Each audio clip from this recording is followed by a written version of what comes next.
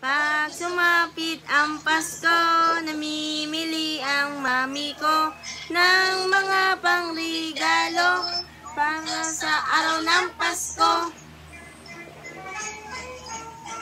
At itong aking daddy gumagawa ng Christmas tree. Sasali ako naman ng mga laruan at mga candy. Sa iba't ibang kulay, ilaw ng Christmas tree. Ito'y laging nagniningning pagsapit ng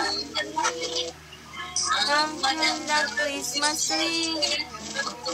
Ang marami, lalo na't patay sindi, ang ilaw ng Christmas tree.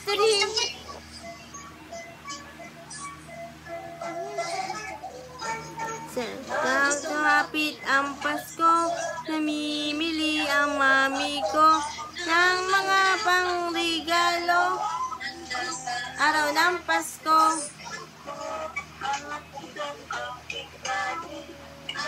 Daddy gumagawa ng Christmas tree.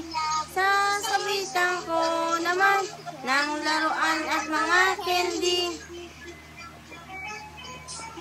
Iba't ibang kulay ng ilaw ng Christmas tree. Pagsapit ng gabi ng Christmas tree.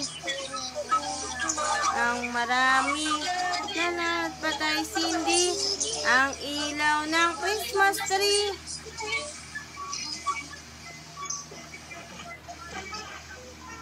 Sa iba't ibang kulay nitong ilaw ng Christmas tree. Ito'y laging nagniningning pagsapit ng Christmas tree. Ang marami